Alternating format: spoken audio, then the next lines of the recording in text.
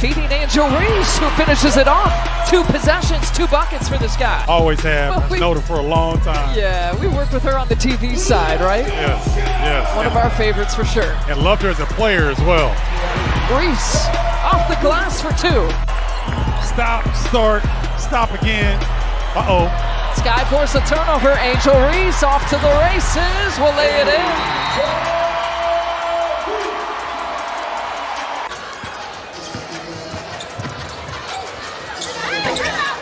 Dana Evans with the miss. Angel Reese with the putback. The third offensive rebound producing some second chance points. Carter oh, behind the back, between the legs, feeding Angel Reese for two. I don't balk easily, though. Oh, nice move. Angel Reese, another offensive rebound, puts it back and gets it back.